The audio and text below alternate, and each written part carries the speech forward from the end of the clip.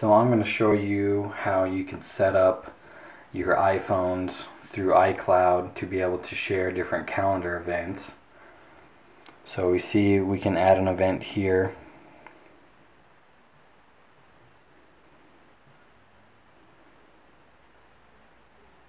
I'll just leave it at that. And my default on my calendar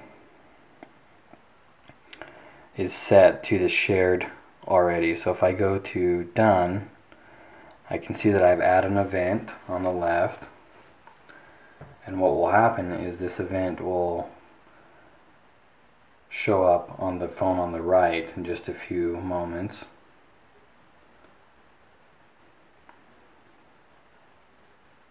And so we can see that that event has also been added. And this works either direction so I can come into this phone edit this event and let's say I wanted to delete this event. I've now deleted it on the one on the right and now it will delete itself from the one on the left momentarily. So this is great if you for example you and your wife or you know your business or whoever, if you want to share an event, you can add it very quickly and easily. You don't have to worry about inviting them or anything. You can just add it. It's there. Any reminders that you set will also be uh, remind the other phone. So it's a great little feature, super easy to set up in, in iCloud.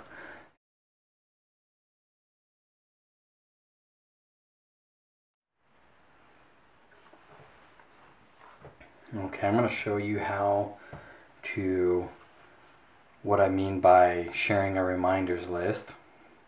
So I can add an event here on this phone and once I've added it, and you can do this either way, it doesn't matter, it'll soon appear over on this right phone.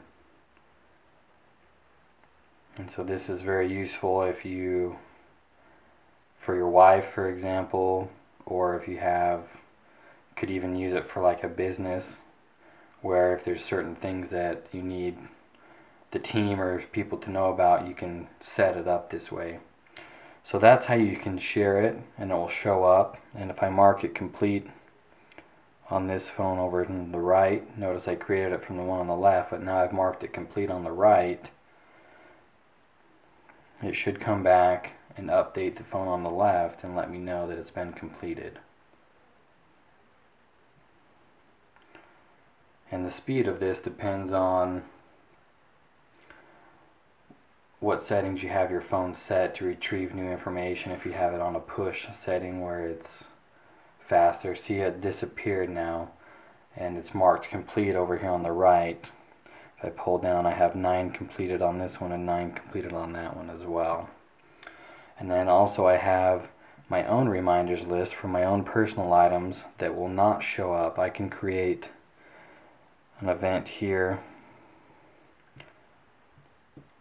and I can mark one of these checked off. It's not going to show up on the right. So I can still maintain my privacy on my own reminders list without having it shared or I can create a shared reminders list if I want different things shared.